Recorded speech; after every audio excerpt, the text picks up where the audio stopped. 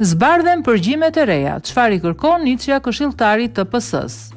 Gazeta gjermane Bild ka publikuar sot 6 audio përgjime të reja mes kryebashkiakut të Durrësit, Vangjush Dako dhe grupit të shijakut Avdylaj. Në videon e parë dëgjohet teksa Astrit Avdylaj e pyet Dakon për takimin me Ramën, ndërsa tregohet hapur afrimiteti që ka mes tij dhe kryebashkiakut duke e cilësuar si vëlla. Ndërkohë, në një përgjim tjetër të pyetur nga Bild, është ai mes Silvi Doçit, drejtor i ujësjellësit në bashkinë e Shijakut dhe Avdylajt.